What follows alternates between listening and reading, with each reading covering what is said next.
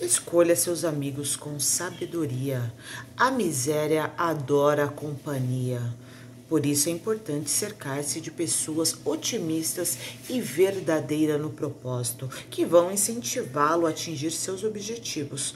Quanto mais energia positiva em torno de você, melhor fica.